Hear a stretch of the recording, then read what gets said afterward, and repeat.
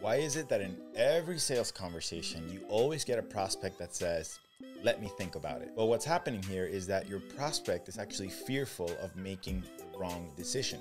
Here's one thing you could say to push back a little bit in a productive way where it takes the conversation to the right path. By using the phrase, I'm curious, from the exactly what to say methodology, you can open up a conversation to productive dialogue, and curiosity is the fuel to great conversations. So say something like this I'm curious.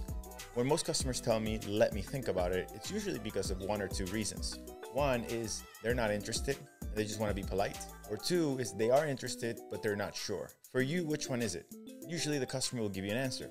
If the customer says, I am interested, I'm just not sure, then you can dive deeper what it is they're not sure about. Could it be because the product fit? Maybe you need to ask more questions.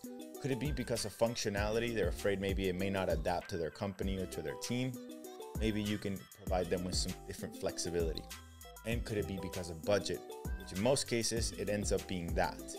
And then allows you to get into a further conversation around how to work something out. If it's something else, at least it gives you the opportunity to talk about it. So try this next time that you get a customer saying, let me think about it. And do me a favor, if you saw value behind this tip, please like the video and share it with someone that would appreciate it as well.